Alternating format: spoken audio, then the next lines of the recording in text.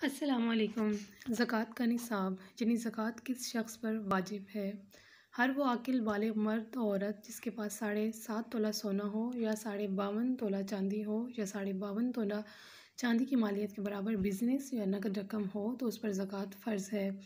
आजकल की चांदी की कीमत पंद्रह सौ रुपये फ़ी तोला है। इस तरह के साढ़े बावन तोला चांदी की कीमत अठहत्तर हज़ार सात सौ पचास रुपये बनती है, जिस शख्स के पास भी इतनी मालियत रकम या इसके बकदर माली तजारत मौजूद है, उस पर ज़क़़त फ़र्ज़ है। ये पुराना मगर मुतफ़ा फतवा है। अलबत् आज कल बहुत से अरब उलमा और बर सग़ीर के बाद मुफ्ती साहिबान ने यह फतवा दिया है कि आज कल चांदी की कम वैल्यू की वजह से माली तजारत और पैसों की ज़क़़त के नसाब में फ़कत सोने के नसाब को महवर बनाया जाए और साढ़े सात तोला सोना का हिसाब रखा जाए, जिसके पास इतना सोना या इसकी मालियत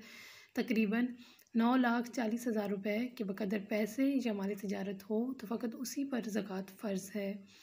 Thanks for watching please subscribe my channel like like and share this video thank you